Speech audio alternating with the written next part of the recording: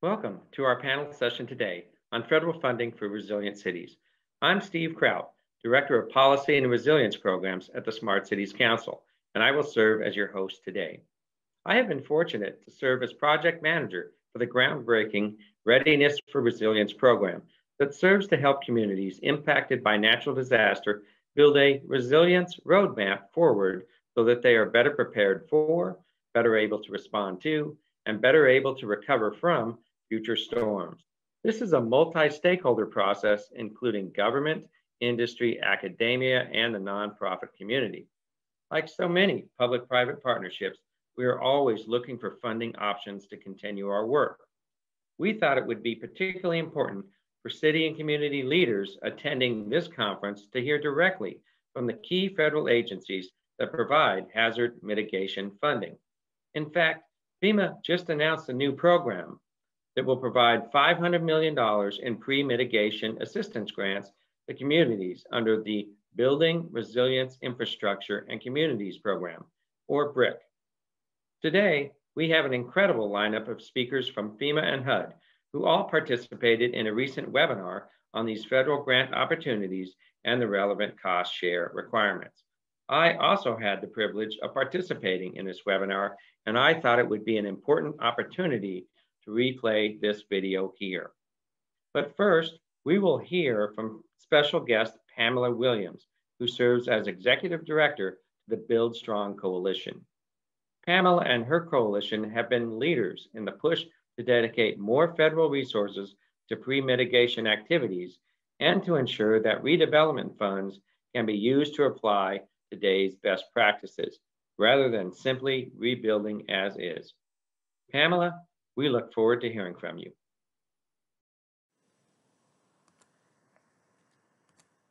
Thank you so very much, Steve. Let's get started. First, let me tell you just a little bit about the Build Strong Coalition, which I represent, and why we're so excited to be here to help build capacity and capability for investing in disaster mitigation. You see, communities have the opportunity to leverage creative partnerships to help meet the cost share requirements of FEMA's hazard mitigation grants and to obtain even more resources needed to drive disaster resilience. The Build Strong Coalition was actually formed in 2011 in response to the ever increasing number of severe disasters. And we are made up of a tremendously diverse group of members, including firefighters, emergency responders, emergency managers, insurers, engineers, architects, contractors, and manufacturers, as well as consumer organizations such as code specialists, and the many, many others that are committed to building a more disaster resilient nation. We do know that by bringing these voices and stakeholders to the table, it was critical to driving a national policy discussion on how we drive down the ever increasing trajectory of disaster costs and losses, particularly in the wake of the 2017 disaster season by leveraging the input of our members, data, as well as diverse perspectives and engaging with all levels of government, the private sector, and nonprofit entities. We have been able to significantly transform the federal framework focused on investments in mitigation.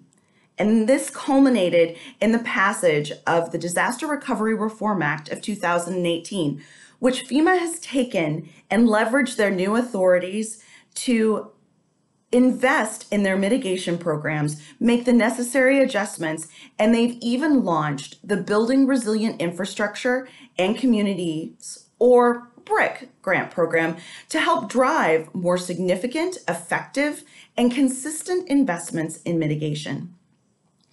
It is such a privilege to be here today with the Smart Cities Council for Smart Cities Week to help frame this conversation, which really does illustrate how critical it is to cultivate partners, stakeholders, and alliances to help identify, design, facilitate, fund truly transformational mitigation and achieve community resilience.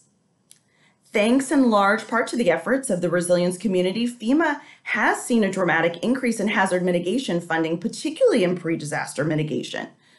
But what do we know? the federal funding alone will certainly not cover the costs of the investments needed to significantly draw down disaster risk. Further, as you're about to hear in detail, FEMA's hazard mitigation programs require that grant recipients have some skin in the game, if you will, and share in the cost of mitigation projects and investments. So, while FEMA's programs generally involve 75% federal cost share and 25% non federal cost shares, I do hear from communities quite frequently about how they're going to face the challenges of coming up with their cost share, as well as how they can leverage these investments to accomplish innovative, strategic, and integrated projects in their community. But wait, because you're about to hear that communities actually have a considerable amount of flexibility in how they obtain the resources they need for the non federal match.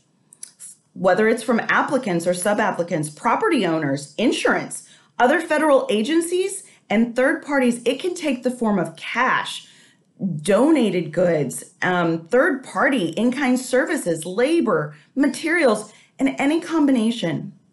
And FEMA wants you to be creative and innovative.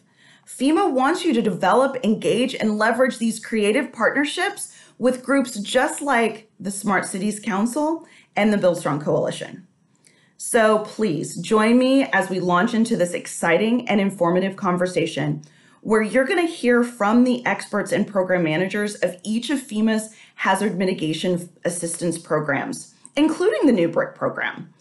Then we're going to respond to your questions and hear some very specific examples and best practices for how you can leverage multiple lines of funding and partnerships to help build resilient communities, which ultimately save lives and livelihoods. Let's get started.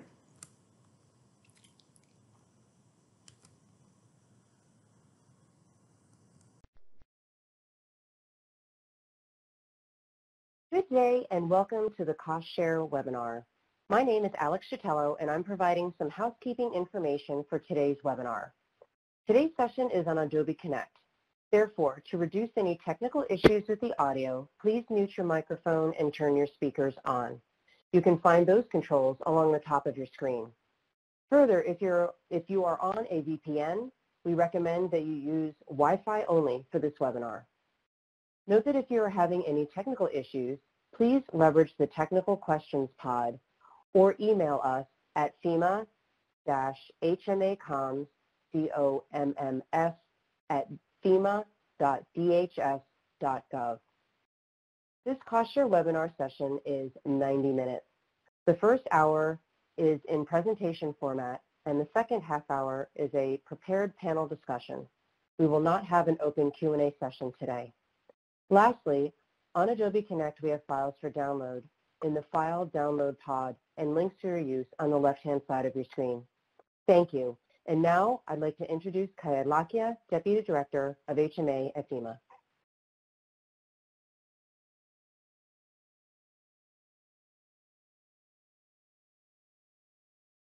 Alex, thank you for the introduction and yes, thank you for joining us today. Uh, my name is Kayed Lakhia. I'm the Deputy Director of Hazard Mitigation at FEMA. And we are here today to discuss the HMA cost share requirements and partnership opportunities relative to the HMA division and its respective grant programs, which include the Flood Mitigation Assistance or the FMA program, the Hazard Mitigation Grant Program or HMGP, and the Building Resilient Infrastructures and Communities BRIC program.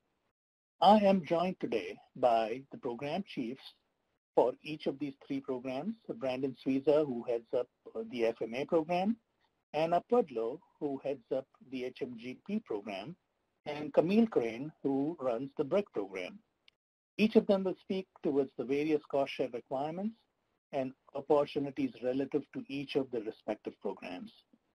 Following the presentation and some additional discussion on the sources and types of eligible cost share funds, we will hear from three of our HMA division partners who will share their experiences with HMA cost share and share some of their insights with you. Our partner presenters include Marty Chester, who is our lead grants management specialist in Region 6, Clay Lloyd, who is the HUD Disaster Recovery and Special Issues Division Specialist, and finally Steve Kraut, Director of Policy and Resiliency Programs at City Tech Strategy Group. Thank you, the three of you, for joining us today. Before we get started with today's agenda, I want to provide a few reminders and helpful tips. Uh, please uh, remember that FEMA does not endorse any non-government entities, organizations, products, or services. Uh, second, as a reminder, located on the left side of the screen is a resource pod that includes related documents for download. And lastly, please double check that you are muted during today's webinar and partner presentations. Our presenters will speak for approximately an hour, and upon the completion of the presentations, Ryan Janda, who is my non-disaster mitigation program branch chief, will lead a facilitated question and answer session where speakers will answer questions. Should call participants have questions, I encourage you to please submit them through the Q&A pod we won't have time to get through these today, but I can assure you that we will capture these questions and provide responses as appropriate. so, as the leadership team for the HMA division, I oversee efforts to reduce nationwide vulnerability to disasters and natural hazards by increasing community resilience through efficient and effective hazard mitigation grant programs and resources. All the funding opportunities that HMA oversees are helping to build a more resilient nation under FEMA strategic plans, and which aims to create a shared vision for the field of emergency management and sets an ambitious path forward to unify and further professionalize emergency management across the country. Today's session will focus on the cost share requirements in the context of three HMA grant programs that are identified at the top of this presentation and are highlighted in the 2015 HMA Cost Share Guide, with the exception of the BRIC program, which has replaced the PDM, the Pre-Disaster Mitigation Grant Program, and it has been identified in the guide as such. Each of these HMA grant programs requires some percent of eligible project activities to be funded via cost share, and the cost share is a statutory requirement pursuant to Title II of the Code of Federal Regulations. More broadly, HMA grant programs cost share obligations are dependent on the grant programs being applied for, a community's demographics, the type and scope of the project submitted by the applicant, and the partnerships identified and established as part of the project activities. So let us get started. What is cost share? Cost share is a portion of the cost of a federally assisted project or program borne by the federal government or a non-federal government entity. And FEMA cost share contributions start at 75% and cover up to 100% of eligible project cost under certain communities and property conditions. We will talk more about uh, how this relates to the three HMA grant programs. What is an in-kind contribution? An in-kind contribution is non-cash donations provided by non-federal third parties, and these can be in the form of real property, equipment, supplies, services, and other expendable property. We will, we will speak more about the various sources and types of in-kind contributions later on in this presentation and how they can be combined to fulfill the 25% non-government cost share requirement. Additionally, it is important to note that in general, federal funds may not be used to cover the 25% cost share requirement for non-federal entities. This is in order to avoid duplication of benefits, which is defined as a situation when assistance from more than one federal source is used for the same purpose or activity. Uh, however, there are certain circumstances where federal funds may be applied toward the 25% cost share. These allowable funds lose their federal identity at the state level. We will cover more of the eligible sources of federally awarded cost share funds later in this presentation. Next slide, please. So an important benefit of HMA cost share requirement is the ability to organize and build public-private partnerships that enhance project outcomes. FEMA wants to help encourage and support stakeholders in partnering with new types of organizations and establishing lines of communication where none have existed previously. For the HMA division, partners often act as one, champions who spread our message and promote mitigation projects in our communities. Two, service providers at all levels who can provide technical expertise in mitigation and opportunities for donated cost share dollars or resources. And lastly, connectors to other sources of funding that can be leveraged for cost share. Several examples of partnerships activities are included on the slide and may be pursued at the applicant or the sub-applicant level to support partnership building efforts or may be provided by sub-applicants to enhance the capabilities of communities to develop and sustain partnerships. Next slide, please. FEMA recommends that all applicants all applicants, sub-applicants, and all community officials coordinate early in order to address cost share requirements and all programmatic requirements. The identification of a cost share source is a major consideration in the application process, and a potentially eligible project deemed to meet programmatic requirements may not be viable if the cost share requirements cannot be met. As part of their application, applicants should describe the extent of its partnerships, including cost share contributions, multi-jurisdictional projects, etc. The example graphic on the slide illustrates the various phases during which partners, both government and non-government, can get involved in the project identification and application cycles. Our next guest, uh, Brandon Suiza, as I mentioned, is the chief for the Flood Mitigation Assistance Program, FMA, and Brandon has extensive experience dealing with cost share requirements for the FMA programs. And with that, I will turn it over to Brandon, but not before saying thank you to each and every one of you for your interest in these programs, as well as your participation in today's webinar. Thank you all.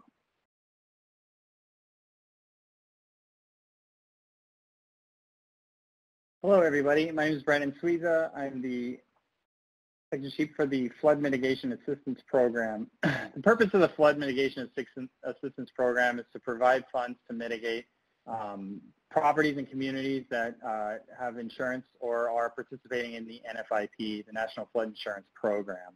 Um, funds that are from policyholders fund our mitigation efforts through FMA, so we're always looking to mitigate properties that are um, insured under the program as well as subject to repetitive flood loss. We provide funds to states, territories, federally recognized tribes, and communities that are insured under the NFIP. And we have some unique cost shares that are associated with the NFIP depending on um, whether or not your uh, property in, your uh, in the application would be subject to repetitive loss. So generally, um, most programs under HMA do have a FEMA 75% uh, federal share and a non-federal share requirement of 25%. Under FMA, this includes the bulk of a lot of our projects, which include our individual property flood mitigation efforts, which include elevation, acquisition, relocation, and reconstruction of individual properties. And these are properties that are not considered to be severe repetitive loss structures or repetitive loss, and I'll get into those definitions in a moment. We also fund project scoping for future um, uh, project sub-applications that may be submitted. And this can be looked at as seed funding for future activities that can be submitted, not just under the FMA program, but under any other of our mitigation programs. We also allow for uh, funding for community flood mitigation projects, and these are localized flood control projects. So think of uh, stormwater management or floodplain restoration projects that impact a, a larger area within your community uh, on the drainage um, basin level. We also fund the flood mitigation plan, so not the entire hazard mitigation plan, but those portions that involve um, the flood hazard plan um, portion of the hazard mitigation plans. And then we also do provide some technical assistance. And all of these activities, again, are um, funded under the 75% FEMA cost share. Uh, moving on, we have the 90% cost share, which is extended out to our repetitive loss properties. Repetitive loss properties, as defined under the um, under FMA, are structures that have incurred flood-related damage on at least two occasions and which the cost of repair on average equals or exceeds 25% of the market value of the structure. And so for those properties that are determined to be eligible and selected under the program, the cost share is enhanced and we will provide up to 90% funding for that. Um, our, that moves on to the next um, cost share that we have, which is a 100% federal cost share. So there is no cost match required, and that's for properties that are determined to be uh, severe repetitive loss. And we have two definitions for severe repetitive loss um, for which um, four, if they have four or more separate NFIP claim payments, this includes building and contents that have been made under um, the flood insurance claim and the amount of each claim exceeds uh, $5,000 and the cumulative amount of such claims exceeds $20,000. Or um, the other definition that we have for SRL as well is for which at least two separate claim payments have been received and those um, exceed the current uh, the market value of the insured structure. So if the structure that has NFIP coverage does meet one of those definitions under SRL, then they would be eligible for up to a 100% uh, federal share from the FMA program. Just a few notes in terms of eligibility for FMA. You, the community as well as the state have, must have a uh, approved FEMA um, hazard mitigation plan and for all the communities that come in as sub-applicants, they must be um, a participating community in the NFIP, for which we have about 20,000 NFIP communities uh, across the nation. The application period generally opens around the same time every year in September and closes in uh, late January. Um, if you have any questions regarding the FMA program, the Notice of Funding Opportunity for fiscal year 2020 is available on FEMA.gov. With that, I'm going to turn it over um, to Anna Pudlow with uh, the Hazard Mitigation Grant Program.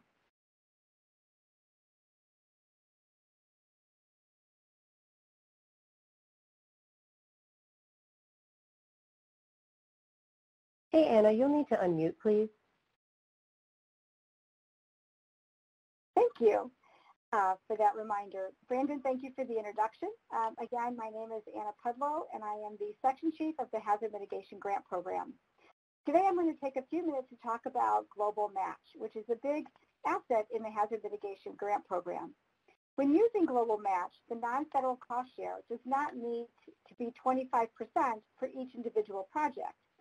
Rather, it needs to meet the entire disaster cost. This provides greater flexibility within the disaster. Global Match increases the flexibility for applications to share those cost, methods, cost share methods. Non-federal cost share can come from a variety of sources, including cash or donated resources for eligible project costs from the applicant, sub-applicant, or mitigation recipient. The applicant administers the program and has discretion to implement Global Match. However, HMGP Global Match is also under uh, certain review requirements uh, as for applying. It has to meet environmental review, planning requirements, uh, cost effectiveness, um, and all eligible costs. Uh, steps related to Global Match can be found in our HMA cost share guide in, and additional benefits and considerations in the key requirements. I'll now be passing things over to Camille Crane, will be talking about cost share requirements for the BRIC program. Thanks so much, Anna. Um, so once again, my name is Camille Crane. I'm Section Chief for the Building Resilient Infrastructure and Communities Grant Program. So as you've heard from both Brandon and Anna, we do have cost share requirements in BRIC as well, and generally they are 75%, up to 75% FEMA or federal, and then there is a 25% non-federal cost share assigned. We do have a couple of different differences. The biggest one um, as it relates to our project sub-applications is for small and impoverished communities. So communities that can show documentation that they meet the requirements of small and impoverished can, achieve, can receive up to 90% um, FEMA or federal cost share and then provide the 10% um, non-federal cost share. So what does it mean to be a small impoverished community? You'll see there on the slide that has two basic um, metrics or requirements. The first is the population. So it's a community of 3,000 or fewer individuals identified as a rural community and not a remote area within a corporate boundary of a larger city. And then the second, it has to show that it's economically disadvantaged. And we define that by saying that it can show that with residents having an average per capita annual income not exceeding 80% of the national per capita income. So if a community wants to apply for that 90-10 cost share, so 90% federal, 10% non-federal, um, they must submit documentation um, in their sub-application that meet that shows that they can meet these two requirements. And then that when that sub-applicant gets or sub-application gets to the applicant as part of their review, the applicant will review that and if agrees, forward that to FEMA, who will then do a review of it as well. If for any reason um, the documentation is not complete or cannot be um, substantiated, the cost share will revert back to 75% federal, 25% non-federal. Um, one other cost share difference we have that's not on this slide, but I did want to mention, is as it relates to our management costs. So management costs are those costs that can be incurred um, to manage the grant or manage the award, including doing quarterly report and things like that. Um, and that has a 100% federal share. So there is no cost share requirement for management costs. Inside of the BRIC program, management costs are capped at 5% for sub-applicants, and it's a line item they put in their sub-application for management costs. And then for the applicant, there is a 10%. Um, they can put in 10% for the total cost of their applications, and it's a separate sub-application they fill out in FEMA Go. As Brandon mentioned, um, just like with FMA, BRIC is currently in its open application period, um, and you can find out more information about BRIC at our website at www.fema.gov forward slash BRIC, including our notice of funding opportunity. So now that we've talked a little bit about the cost share for each of those of our three mitigation programs, I want to spend a couple of minutes talking about, okay, so I've got this, for example, 25% non-federal cost share. What does that mean or what can that be made up of? Um, one thing we want to remind people is that it can definitely be cash, but it doesn't have to be cash. And so that was one of the whole points of us having this webinar today. So I'm going to go through um, some of the different categories of ways you can come up with um, the non-federal cost share. So I'm going to start with cash. Um, cash, though, can mean cash from a lot of different places or a lot of different ways. So it could be cash either by the applicant or the sub-applicant, just straight cash, dollars provided. Um, it could also be cash that may be um, given by another organization or um, a, like for example someone who's benefiting from the project. So as an example, you might have if you're mitigating a residential structure, maybe the property owners are going to help put up some of that cash. Or if you're mitigating a business, will that um, that business owner donate some of the cash? Cash can also look like forced account labor.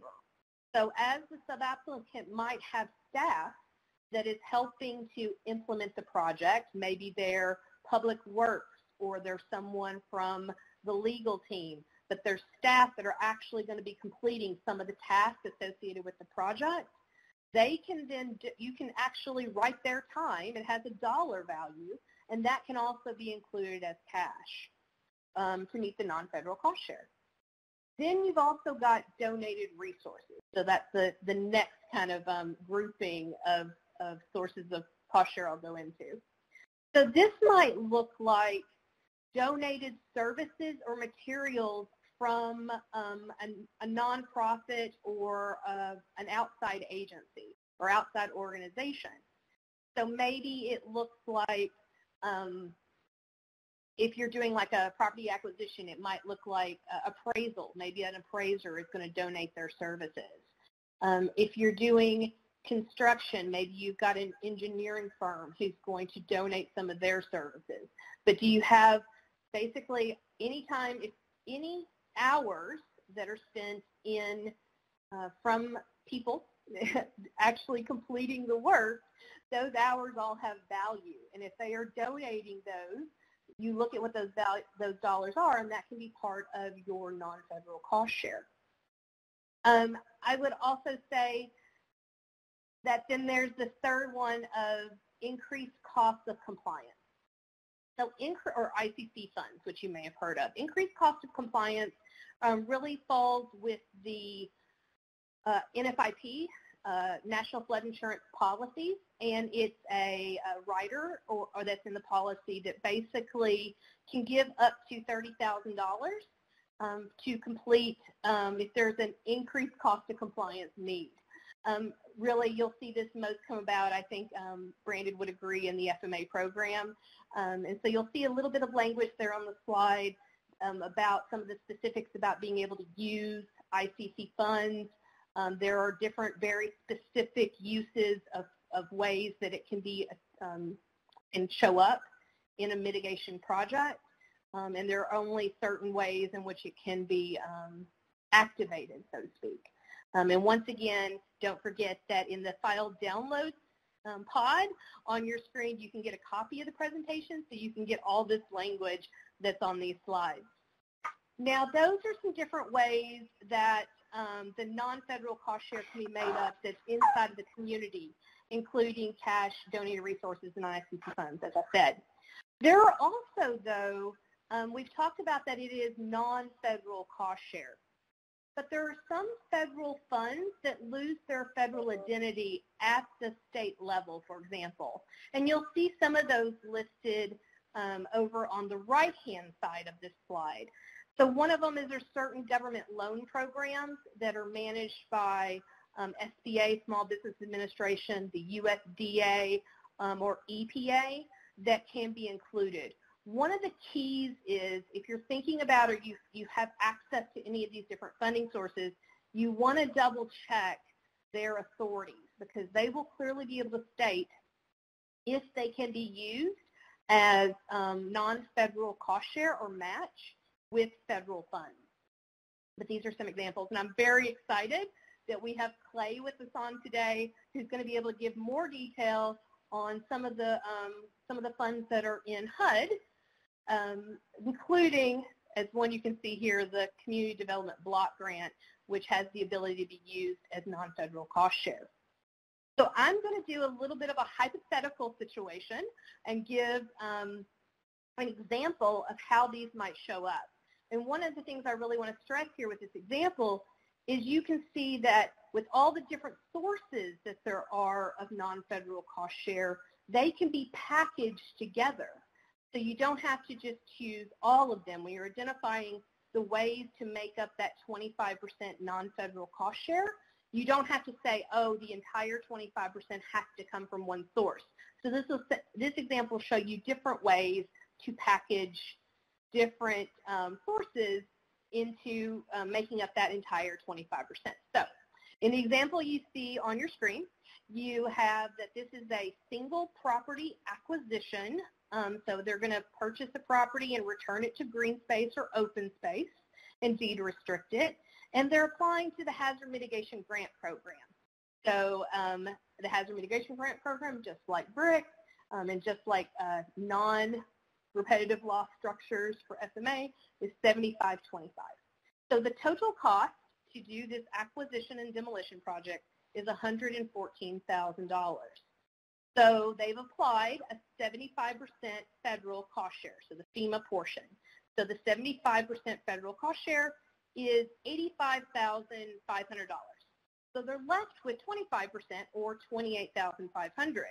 Now you'll see how they've packaged three different vehicles or three different um, sources to make up that 28,500, which is 25%. So first off, they're going to have some donated in-kind labor from a third party and the sub-applicant.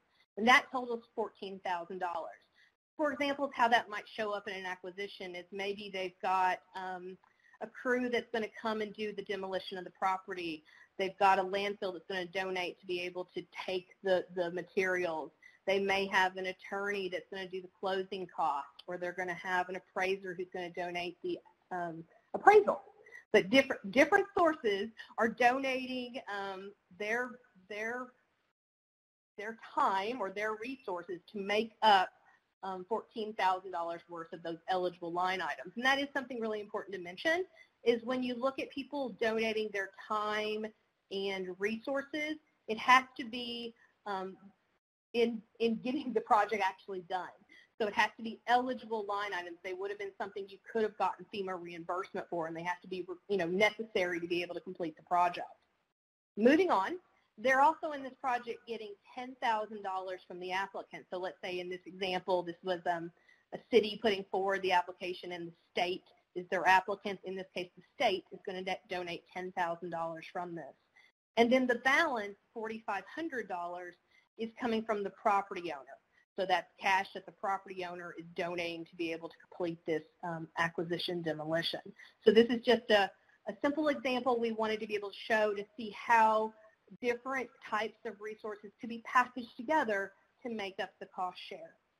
So what I'm going to do now, I'm very excited that I have the opportunity to introduce um, someone I've had the pleasure to work with for a few years, and that's Marty Chester from FEMA Region 6, who is a lead grants management specialist. And he's going to be able to walk through some very specific examples of how he has seen cost share play out in some of the grants that he's managed. So Marty, I turn the floor over to you. Hey, thank you so much, Ms. Camille, and thank you guys for joining us on this call today. Uh, I am going to go over a couple examples of how this looks like in real life, in, in real, in, in practice.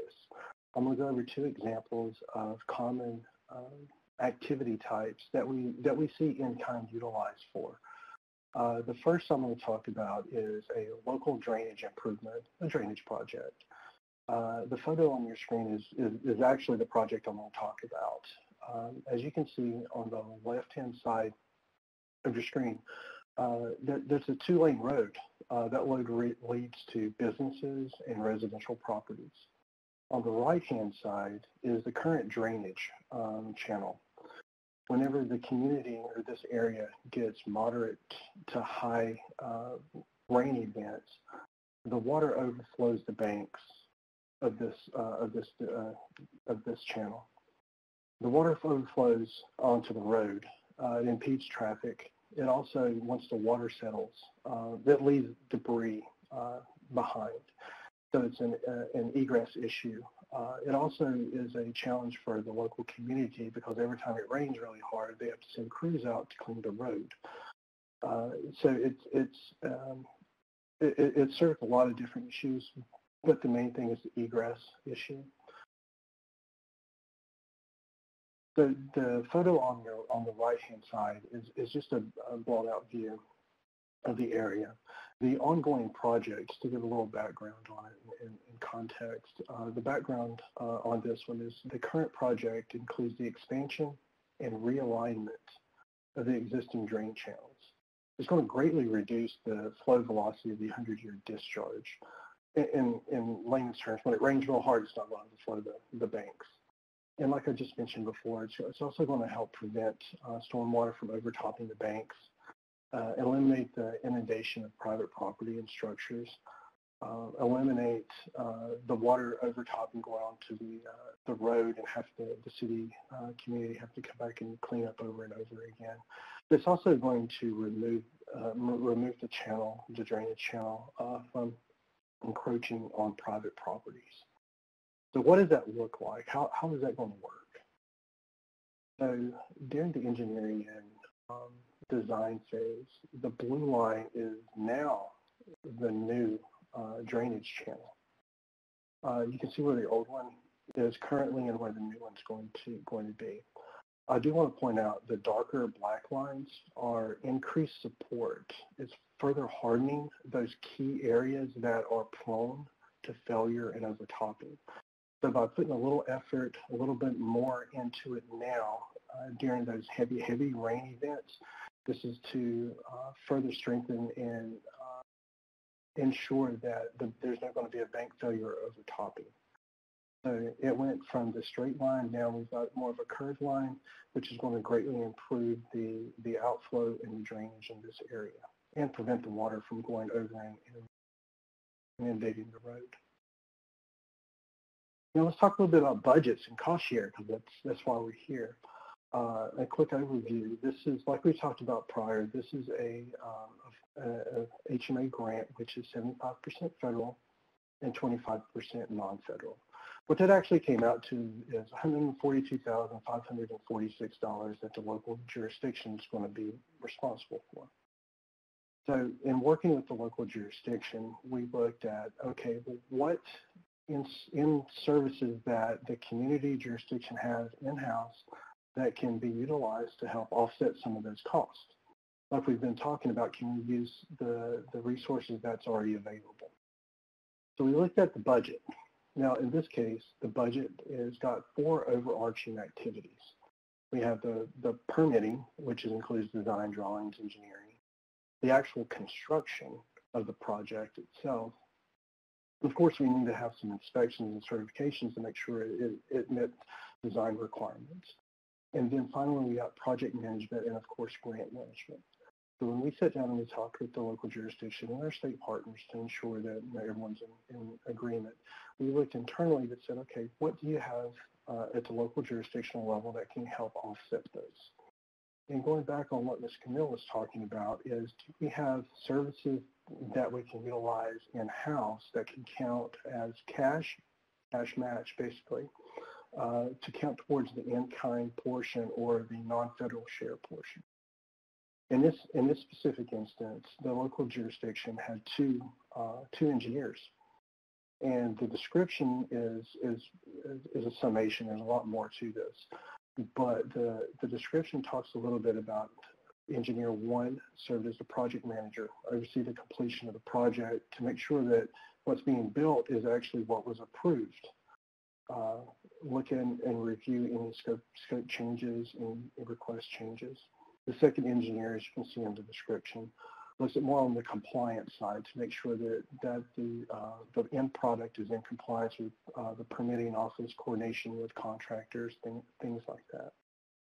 At the end, when we totaled up all their dollar amounts, it was over $10,000 that the community did not have to put up in hard cash. They utilized their, their internal staff to come up with the over $10,000. But remember, like Ms. Camille's talked about, those tasks need to be directly related to the project itself, not their day-to-day, but what's what are they doing directly to support the project. So this was a win. It, it helped save the community over $10,000. The next activity, mitigation activity I would like to talk about is a local mitigation planning or a local mitigation plan. Uh, we spoke about this a little bit earlier. And in a very overview, uh, we take our natural environment and put up with our built environment. We identify our risk and develop strategies to reduce or eliminate, eliminate those risks. So, uh, and again, a mitigation plan is the foundation of the communities for long, long-term strategies to reduce the repetitive cycle of disaster comes through, have damage, rebuild, and then it rinse and repeat. We want to stop that cycle. So the mitigation planning is crucial for that, but also it's a prerequisite for our grant program. Uh, local jurisdictions have an approved federal, um, federally approved local mitigation plan to apply for our grant programs. So it, it's a win-win. So when we look at how do we fund this, how do we ensure that our communities have a local mitigation plan? It's a 75-25 cost share. So we're looking at the top of the screen here, this is a uh, just a budget sample of what we typically see in a local mitigation plan. We have four or five uh, separate um, categories. We have to develop the application, Um, the, the application itself. And then once we get that awarded, we have to develop the plan. And then there's some grants administration. So when we look at plan development, it's really critical that we have the local government involved in developing the plan because the local jurisdiction knows best what the risks are and potentially how we how do we mitigate those risks. So the bottom portion of that, if we look at those positions, we really need the emergency manager, the floodplain manager. A lot of those positions are going to be involved in the development of that mitigation plan at the local level. But capture those hours, capture what they're doing to directly support that. As you can see here, the, the total number of hours add up really quickly. And when you add all those components together and all those positions together, that could come up to a large amount of money that's, that is not having to come out as hard cash that you can use as, as a soft match, if you will. Uh, so this greatly, this is twofold. One, it greatly reduces the hard cost out of pocket, but it also incentivizes the local jurisdiction to be more involved in the application or the development of the plan itself. I would like to go over just a little bit on um, cost share ideas. Now, this is just ideas, just to get them, uh, just to get the thought process going. Uh, like Ms. Camille talked about, we do have cash. Cash is always a good thing. But we also have staff time. Like I just talked about, staff time, project management, financial services. The main thing I want you to take away, please, from this slide is the careful documentation. If staff are, are, are supporting a project, we just really need to document those times and document it well to ensure that whenever it comes time for reimbursement or a closeout, then everything is documented in the process. And we go back to the uh, file downloads. Uh, there's an HMA cost share guide as well as an example of an in-kind for your download. Uh, thank you guys so much for the time. I am proud to announce that uh, I'm excited to announce that I'm going to turn this over to uh, Mr. Clay Lloyd from HUD, who is going to be talking about the Community Development Block Grant Program. Take it away, Mr. Clay. All right, thank you, Marty. Appreciate that. Great. Hi, everyone. My name is Clay Lloyd. I am a specialist in the Disaster and Special Issues Division at uh, HUD, and that's the division that administers the Community Development Grant Disaster Recovery Program, as well as the Community Development Block Mitigation, or CDBG MIT. And I'll be presenting today on how to use CDBG funds at the FEMA programs.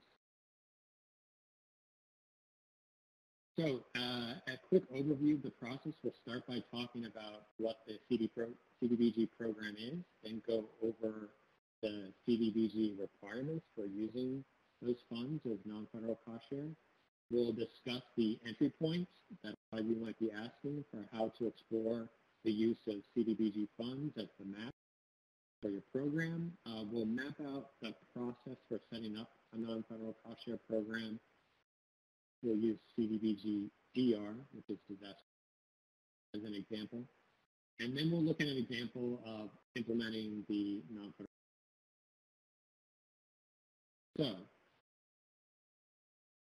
uh, the first question that uh, you might be asking is, uh, who do I reach out to and what is uh, CDBG? So CDBG stands for the Community Development Block Grant Program. And currently there are a few different types of programs out there. Um, first, we have the original programs, the state CDBG program and the entitlement CDBG program. These are have annual allocations every year um, that are given to the states are awarded to states who then uh, turn around and allocate them to local governments within their state. And then the entitlement program is a direct allocation on HUD to a local government, like a major city or urban area, for them to carry out their program. Um, the other program to think about is CDBG CV, CV program, which was created to support the recovery of communities from the effects of COVID-19. And it's an allocation that's passed through both the state and entitlement partners Now, the last two uh, CDBG programs, the CDBG MIT program, which was created to support the building of mitigation measures for communities in and distressed areas resulting from major disasters between 2015 through 2017. I think uh, those grantees are uh, states and local governments recovering from Harvey, Irma, and Maria, as well as other major disasters. Um, and then also the CDBG DR program, disaster recovery. And this is the uh, HUD's long-standing disaster recovery program around since 2001 up until present. And um, whenever there's a major disaster declared in the uh, U.S., Congress usually uh, appropriates some CDBG DR money, which are then given to states and local governments after the major disaster to help in the recovery in, once again, the most impacted and distressed areas. So those are the um, different CDBG programs that are out there. Um, I work, once again, on CDBG DR and CDBG MIT, using CDBG, CDBG DR as an when I talk about the requirements.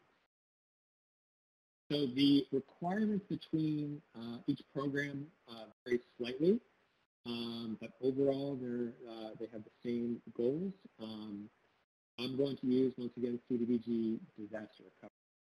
As an example, um, in CDBG DR, you'll uh, see that the award goes to the grantee, uh, who is either the state or the local government.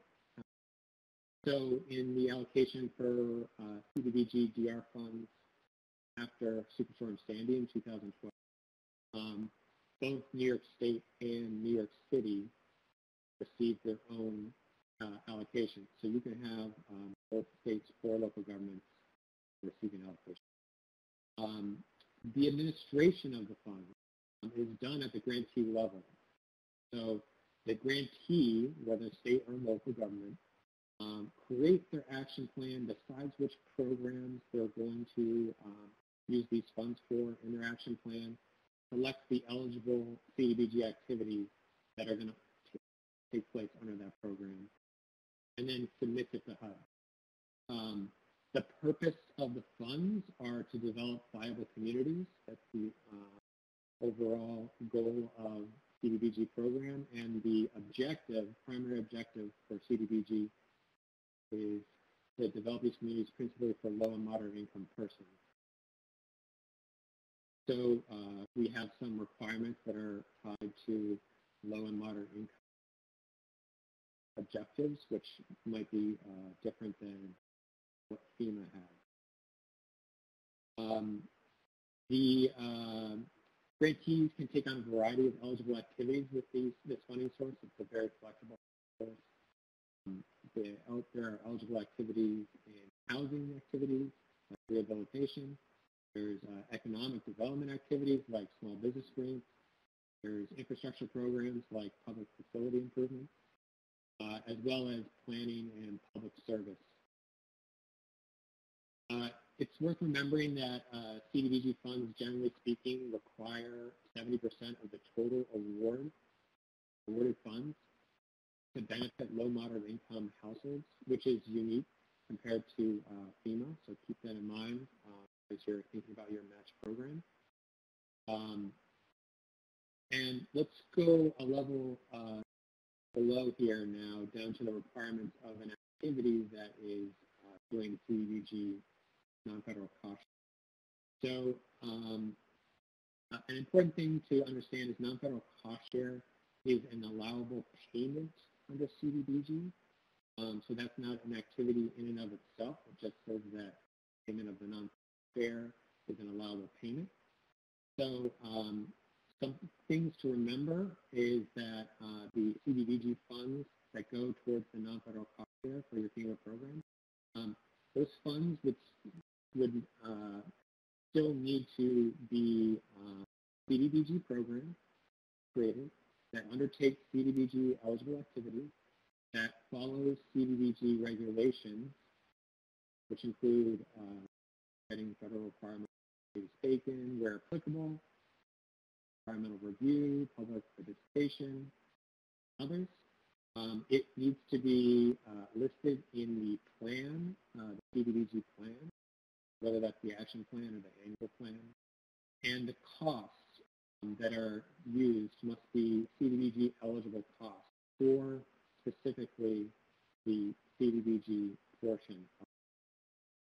Um, the last thing is that after mentioning all these kind of requirements and how this is still a CDBG program, uh, is that um, it is um, possible and uh, it quite often can happen where the program administration of the program can be done by the FEMA applicant. Um, so um, while there's all these CD, uh, CDBG programs created, activities and eligible costs, the actual program administration for that portion of the fund can be undertaken by FEMA. And that's an agreement with the, their state or local CDBG counterpart through a memorandum of understanding or subrecipient agreement. Hey, Clay, it's Alex. I hate to interrupt. Uh, some folks are having trouble hearing you. Do you mind speaking up a little more? Sure. Yeah. Um, can you hear me better now?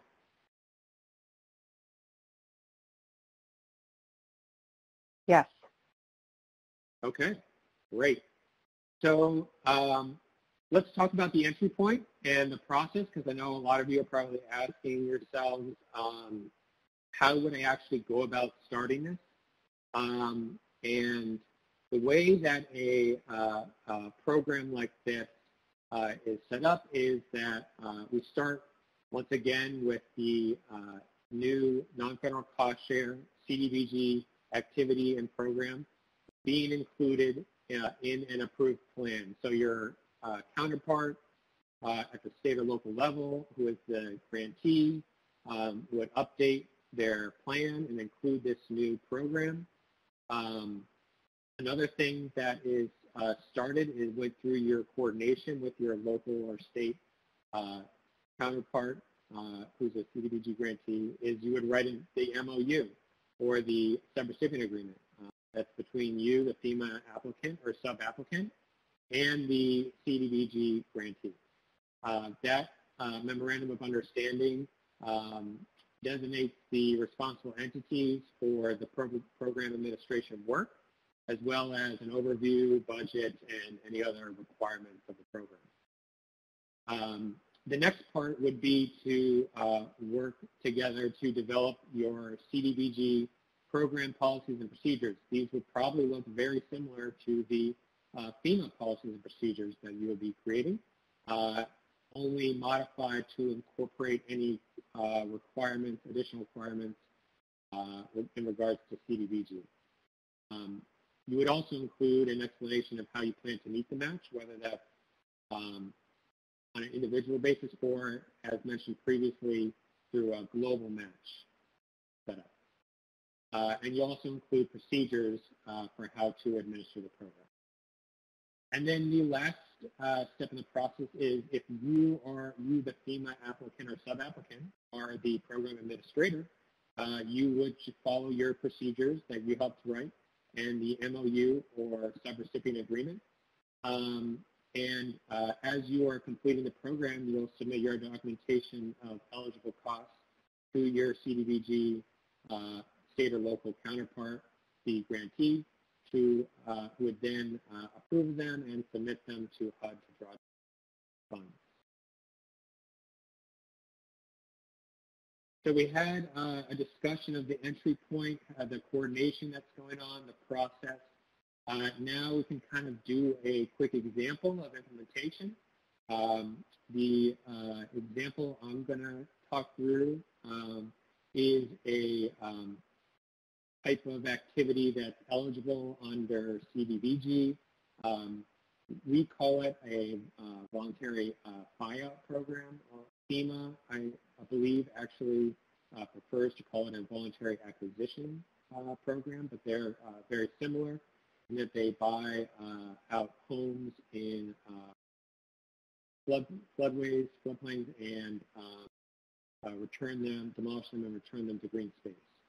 Um, so you may be a grantee who has a uh, several communities that you're going out to in your area um, to try to um, uh, find several parcels that will be uh, purchased. Um, you will uh, at the same time have your CDBG version of the program um, that will probably, depending on what type of match you cho chose, uh, you chose a global match, you'll select a specific area and designate those people that apply to uh, apply uh, to the CDBG program as CDBG beneficiaries and applicants. Um, so uh, what you would do if you uh, were the FEMA, as a FEMA applicant or sub-applicant, you would run your program, your CDBG program, in a similar way to as you would uh, your FEMA, uh, your FEMA program. First, you would establish that MOU, the Memorandum of Understanding, the partnership, with your counterpart, who's a CDBG grantee. Uh, your counterpart would uh, write an amendment to their action plan or their annual plan, including this program and the amounts uh, under the program. Together, you develop policies and procedures, and then you begin program administration. So you would uh, reach out to your community, you'd identify, select your interested parcel. Uh, you would still go through procurement for work. Uh, procurement uh, requirements under HUD and CDBG are slightly different, so it'll be um, a little different uh, for those applicants when you're using those funds. Um, you'll do uh, uh, title work, environmental review, and demo. Um, you'll conduct environmental review on the parcels. Uh, you'll go to closing and close on the acquisition uh, with the beneficiaries on the sale of the property. And then you'll demolish uh, the uh, property and return it to green space. And all along that time, you are documenting costs and submitting them to the CDBG grantee, uh, your state or local counterpart for reimbursement.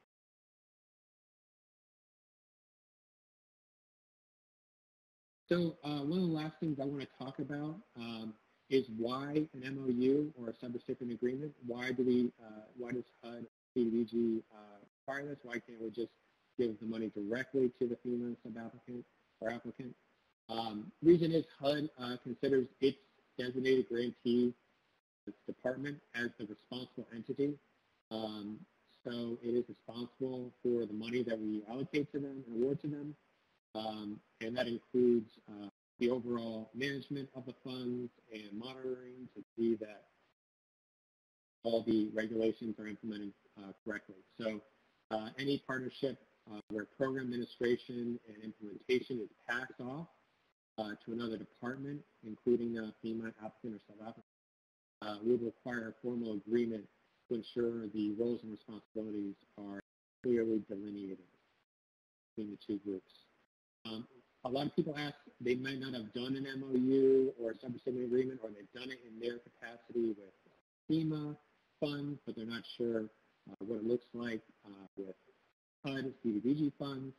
Um, generally speaking, they all uh, have the same uh, parts. Uh, the contents of an MOU or subrecipient agreement would include the award amount, the goals, the objectives, scope of work, budget, program costs, performance metrics, what you're going to document, and the CDBG federal cost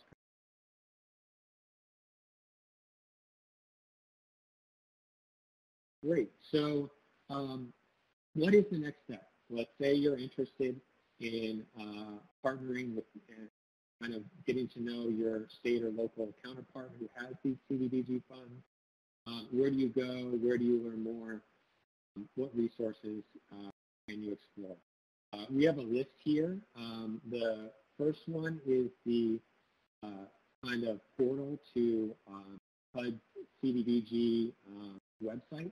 It has rules, regulations, requirements for all types of CDBG information.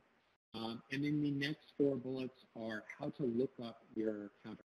Because a lot of you are going to uh, learn a lot more as you start your conversation with the uh, state or local uh, CDBG grantee. So there's a grantee lookup for uh, the CDBG Disaster Recovery and Mitigation Fund. There's a lookup for state funds, for entitlement and CD funds. Um, and the last bullet point there is an example, a PowerPoint, that goes into more detail of the example I gave earlier on what a voluntary acquisition by program looks like with CDBG funds.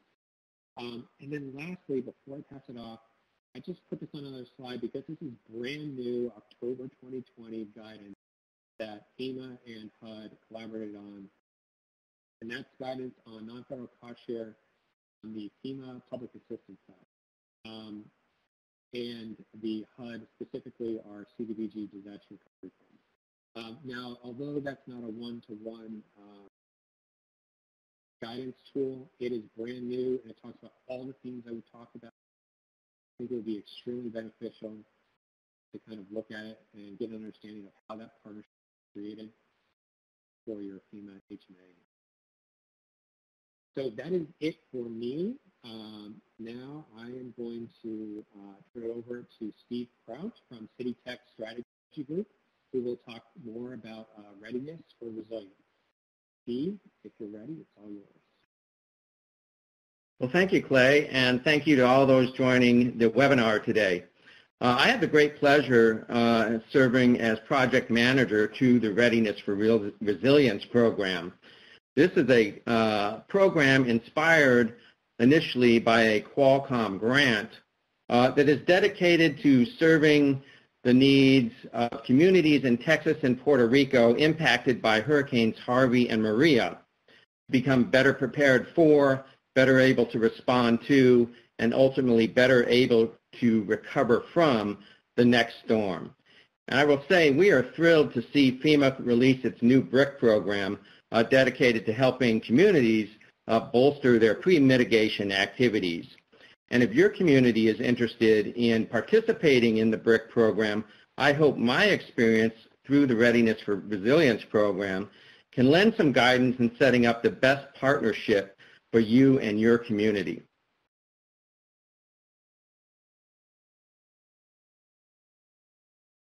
So as you are considering what type of partnership to put together, I think it's worth taking a look at the guiding principles of the BRIC program. And a few key words stick out to me. Capability and capacity building, encouraging and enabling innovation, promoting partnerships, enabling large projects, maintaining flexibility, and providing consistency. These are all important goals that you should keep in mind as you're developing your partnership. And when we were developing the Readiness for Resilience program, we were first and foremost interested in focusing on what we believe to be the three key pillars of enhancing uh, resilient infrastructure, and that being uh, working with local communities directly, uh, energy, and telecommunications. If you don't have those three fundamental core capabilities, uh, it makes it very difficult ultimately to enhance the infrastructure. So we were, as I mentioned earlier, very fortunate to have an initial grant uh, from Qualcomm. And of course, they are one of the uh, world-class uh, leading providers of wireless to telecommunications uh, infrastructure. So they brought tremendous expertise to the table. The Smart Cities Council is another partner of ours that has a long history working with cities as a technology neutral and trusted advisor to cities. The Business Council for Sustainable Energy is a clean energy trade association based here in Washington, D.C. with a wealth of industry and market experience that can be shared as communities are looking for energy uh, alternatives. And then finally, the National Association of State Energy Officials that are typically governor-appointed energy officials tasked with developing state energy plans and strategies. So that made up the core uh, partnership. Uh, beyond that, of course, we wanted to focus on the correct uh, local partners in both Texas and Puerto Rico. And interestingly enough, in Texas, the governor made what I think is a really wise choice appointing Texas A&M AgriLife School as the lead of the recovery effort. And the AgriLife School actually has people on the ground in virtually every county in Texas. So the governor wanted somebody, an organization that had a feel for what the communities needed. Uh, and of course, he established a governor's commission to rebuild Texas, consisting of a number of stakeholder experts that would facilitate uh, workshops around the state uh, uh, to come up with recovery recommendations. The Texas Community Watershed Partners uh, has a wealth of flood mitigation uh, research uh, that uh, we could rely on during this process. And in Puerto Rico, we partnered with the government of Puerto Rico itself. So that made up the core um, partnership of the program and then also the local partners. The Readiness Resilience uh, Program itself really is a technology-neutral trusted advisor forum for resilient stakeholders consisting of three main phases. Number one, a discovery phase. We want to go directly to the impacted local communities and hear from them about what they view their pre-mitigation and rebuilding needs are. From that learning experience, we then bring experts from industry uh, to make best practice and technology recommendations that could apply to the needs identified uh, by the local communities and build what's called a resilience roadmap. And finally, that roadmap contains actual rebuilding proposals that are community-based projects, recommendations for public-private partnerships, and potentially available funding sources. And ultimately, that led, led to this great chart behind me that I don't know if you can see too well, but that is a, a one piece of the roadmap. And you'll see that that includes some of the needs identified by the local communities, some of the best practice technology solutions um, that were paired to those, the project recommendations, and then we actually took our recommendations and compared them to the governor's commission's uh, report to see if there was consistency among those two. So we feel that um, if you go back to the guidance principles, this program did enable capacity building. It encouraged certainly innovation, uh, and uh, and ultimately um, we wanted to lead to project development. So the question today, of course, is if you're applying for these federal grants and there is a 25% cost share requirement, how can you and your community meet that requirement? We did not have any federal funding uh, in this go-around of, of the Readiness for Resilience program, but we think that the program is applicable as an example. And so there are a few ways here that we were able to not only um, get the grant funding from Qualcomm, uh, but then um, sort of capture the available resources from the other organizations. So I list a few of these here just um, as examples on how you might meet your match. Um, the grant funding is critical. Uh, we're always on the, uh, on the lookout for that. But Qualcomm provided a, a wealth of technical expertise uh, that contributed to the management of the program and the planning and strategy. Smart Cities Council uh, has smart cities best practices that they could bring to the table. They actually brought member companies, experts from around the country to contribute. Uh, they have uh, smart technology data, uh, workshop guides, uh, road mapping expertise, uh, and then they have an online um, uh, tool called Activator that enables communities to collaborate even in a COVID environment. Um, the Business Council for Sustainable Energy, I mentioned, brings a wealth of uh, clean energy uh, expertise and best practices and project uh, examples. And then finally, NASEO brought planning, strategy, governance, technical expertise, and down the line.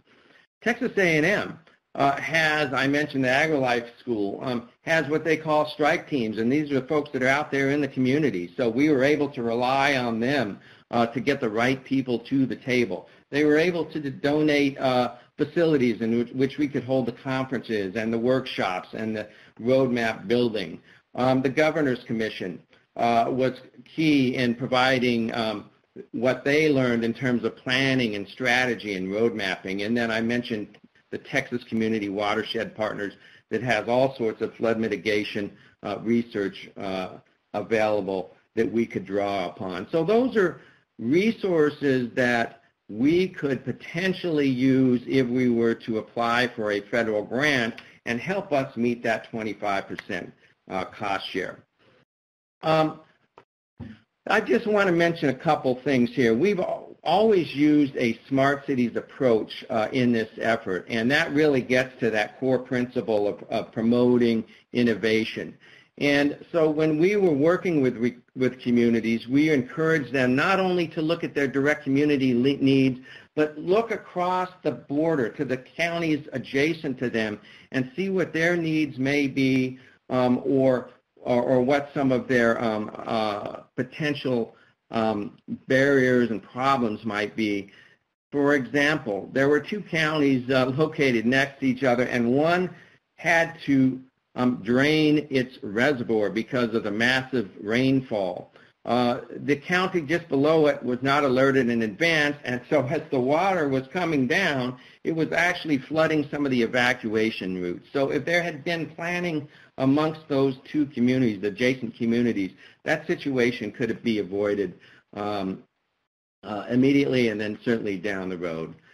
Um, the critical point here again is funding and financing. How are we going to meet that cost share? So I mentioned earlier, you know, through these public-private partnerships, if you're if you're partnering with multi uh, uh, entities, you have an ability to actually stack financing approaches and meet that cost share. Um, bring them all together uh, under a single um, uh, umbrella. Some of these other bullet points um, are more directed towards uh, project development itself rather than the cost share. Uh, I'm going to wrap up just by mentioning we have um, a number of resources that you can take away from this slide uh, that, that examine best practices that could be utilized in resilience, smart cities, uh, and, and public-private partnerships. And with that, I'm going to pass it uh, to Ryan Janda, Chief of Non-Disaster Grants Implementation, uh, who will guide our question and answer session.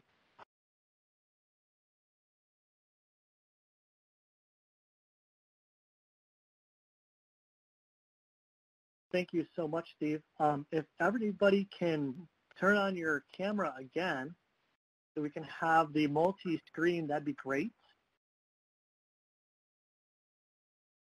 There's Clay, Brandon, and Steve. Thank you, guys. Um, what a what a great um, what a what a great session today. Um, first, I'd like to say thank you, Steve, um, um, and you know just really good information on on on your program. Um, that was such helpful information by our panelists, Brandon, Anna. Anna's not on the screen because we're not going to have a question for Anna right now. Camille, Marty, Clay, um, thank you for participating today. And as a final part of our session, we'll be taking an opportunity to ask a few questions. Um, the first question is going to go to Brandon Suiza from FEMA, our FMA section chief. Brandon, good afternoon, and thank you for the information you provided earlier. The question we have for you, Brandon, is can you tell us if there is a way to reduce the cost share to 90-10? That's a great question, Ryan. And uh, in the FMA program, we get it all the time uh, because we have varied cost shares, as I pointed out. Currently, though, all of the cost shares that are established are established um, per statute, per regulation. So we don't have any flexibility in adjusting those cost shares outside of what has been described today. Thank you, Brandon. Um, I'm going to be trying, I'll try to be smart enough to mute my phone as you guys start talking so I can reduce the feedback. Um, the next question goes to Camille. Camille, the BRIC section chief. Um, I think many of our listeners are excited about the BRIC program, the Building Resilient Infrastructure and Communities program, Camille. I hear it time and time and time again. Um, can you tell us when the cost share resources have to be identified? Sure, and let me just say, Ryan, I'm equally excited about the BRIC program. It's been um, something we've been very hard in the works for for quite a while. So that's a really good question, Ryan. We talked about what the cost shares are. We talked about all these sources. When do you have to have them lined up? And that's in the time of application. So as part of your application, as you're putting that together, you're going to be identifying what is that, for example, 75% cost share, and you don't have to, you just say FEMA out beside it. Um, but then you have that 25% cost share, and you're going to need to identify where it's coming from and how it's coming. So for example, if it's just one organization and it's cash, then that's pretty much it. And you just identify that source and it's cash. But if you're doing like we talked about where you're packaging several different cost shares together, you're going to need to be able to spell out, okay, this is my total 25. But as I showed in that example with the um, one property acquisition and there had three different cost shares, So they divided out, here are the three different um, sources, I should say, not cost shares, but three different sources, and here's the dollar value of each. In total, or adding all those all up, they equal 25%. You're also going to be, need to be able to show that there's a commitment from that, that you have those, those funds or those resources available. That way we have um, some understanding that if this grant is approved, you actually have that cash or you actually are going to be able to get those sources. So that is something that's done at time of application. Thank you, Camille. Marty, the next question goes to you, and, and thank you for joining us today. It's nice to see you, um, and we really appreciate your partnership um, with with Region Six. Um, with you know several of us from FEMA headquarters, you know it does take a village to implement hazard mitigation assistance. Marty, the question for you is, how do I document my in-kind contributions, and is there a tool out there we can use? That's a good question, Ryan, and that, that's something we work through uh, a, a, lot together. And uh, like we've talked about on, on numerous occasions on this webinar, early communication, early coordination, that's the key.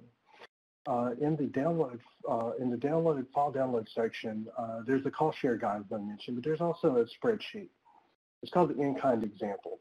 That is just to get the conversation started uh, that's the starting point. If you're a local community or a, a county or a parish, have those conversations with your with your state agency or your recipient. If you're a state agency, let's have those conversations up and down the uh, the chain so we can all have a better understanding of why why we're doing what we're doing.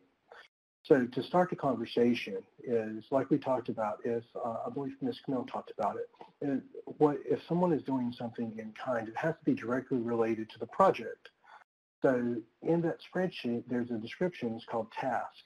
So that keeps people describe the task. Who is doing it? What are they doing? Why are they doing it? Uh, so to document the in-kind uh, is early coordination and communication uh, with your federal and state partners and your local partners, but also making sure we document everything exactly. We don't want we that, that helps in many different aspects. One, when we get to close out, hopefully 36 months from award, uh, that's an easy closeout, right? Because everything's documented. Uh, and the person who started that may not be there 36 months later. They may have accepted the award, won the, uh, may have, uh, may have you know, moved on, won the lottery, uh, moved to Bahamas, who knows? But the documentation needs to be there. Uh, secondary, that keep, it's a fundamental thing is that if we have the description, that also helps us stay on task and prevent scope creep. Uh, so the, the document in there, uh, in-kind examples, it's a spreadsheet, it's a starter, but the main thing to take away is the early communication and coordination, sir.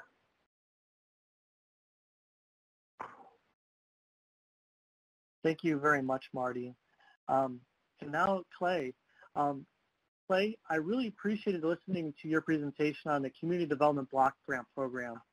Um, we at FEMA have heard time and time again how it can be used as a cost share for um, HMA projects and sub-applications. So listening it from CDBG's mouth, I think is really, really important for our stakeholders. Um, so, so just, just thank you very much for being part of today. Um, the question for you, Clay, is can you tell us when is the best time to connect with my state local counterpart who manages CDBG program funds? Sure. Thank you, Ryan, uh, for the question. Uh, the like uh, Marty just mentioned, I'm going to reiterate it. Uh, if you're interested um, in steps for the component, you're interested on the CDBG side, it's also uh, best to reach out as soon as possible um, and as early on in the process. The two kind of main examples I usually mention um, is FEMA projects might start going through procurement without considering consideration for the CDBG uh, requirements, and then uh, procurement uh, contracts might need to be amended, or you might need to go through the entire procurement process again for the CDBG portion. Um, the other reason is uh, reaching out early to a CDBG fee um, provides you, you know, an increased chance of them having available funds. They haven't already committed somewhere else. For those two reasons, reach out as soon Thanks, Clay. Um, when, when we ask the next question, if you guys could all just get a little closer to your microphone so we can hear you just a little bit better. So the next question I'm going to ask each of our panelists here, um, because Marty is in the upper left-hand corner, and that's the way my brain works right now. Um, it might work differently after COVID is over, but for right now, that is the way it works. Um, Marty, here's the question for you. What is the one thing you think our attendees should take away from today's conversation? The one thing that I think everyone should take away is if there's a mitigation action that, that the community feels is really needed and the cost share is, a, is the inhibiting factor, work together with other partners, work together with, uh, with your state and local partners, and see if there's a way to strategize to offset that hard cash so that way, it's it's not an impediment. It's not. Um, we can get the good mitigation done without having to worry about the hard cash. Uh, let that come later. Let's worry about the uh, the mitigation actions and how we can better protect our communities. Thanks a lot, Marty. You know, I got too excited about the one panel question for everybody that I've missed Steve. Steve, I want to bring you back in here really quick, and I really apologize for that. Um, I thought your presentation was very insightful, Steve. Um, so let, let's go back to that for just a second. Um, the question for you, Steve, is can you tell us how um, do you meet the 25% cost share requirement absent a significant cash or grant contribution? And then we'll come back around to the other panelists. Thanks, Steve. Well, that's the challenge for all of us, right? Um, you know, we were very fortunate to have an initial grant from Qualcomm and like I mentioned, we're always looking for grants. And whether that comes from a big corporate um, entity or whether from, you know, a, a foundation or a nonprofit, um, that's going to be, you know, extremely helpful as, a, as sort of a cash contribution. But then I think, and I really like FEMA's um, approach on making sure that we're promoting public-private partnerships because you're bringing more people to the table here. And if you're inventive, if you're creative, you will realize that these entities all have significant value that you may not even be aware of, but through the conversations and asking them to join, you can realize that, oh, wow, um, you have done a lot of research in this area. Um, maybe you can tweak it to our particular community needs in this project. Um, Texas A&M is a classic example. You know, big universities have so many resources. They actually have, you know, these strike teams on the ground, right, that we could utilize. There wasn't, um, uh, it didn't take a big ramp up in order to get personnel out to the local communities. Uh, we had um, the benefit of Smart Cities Council that has worked closely with cities and communities that could bring all of their expertise and, and workshop sheets and, and, and fine tune it to the task at hand. Um, the National Association of State Energy Officials, um, you know, they're already working with state governors uh, to develop these um, state energy strategies. So just with our conversations amongst the, amongst the partners, we were able to come up with the resources to meet needs that were far beyond that we have envisioned just with a Qualcomm grant. And so um, just be creative and talk to your partners. I think that's fantastic advice, and that's something you'll see when you're looking at the BRIC, um, the BRIC criteria too. And I think also the criteria for the flood mitigation assistance program and community flood mitigation projects is increased cost share and, and showing that private-public partnership is a very important um, aspect of those programs. Um, thanks a lot, Steve. So my, my, my favorite question, we're going to get back to it now. But you're next up on the list. Um, so if we were to take away, if you were to, if we were to have one takeaway from you um, on the topic of cost share, what would it be?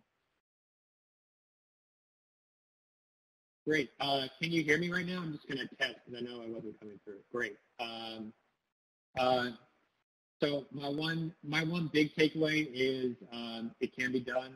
Um, oftentimes your uh, state or local grantee office is very receptive.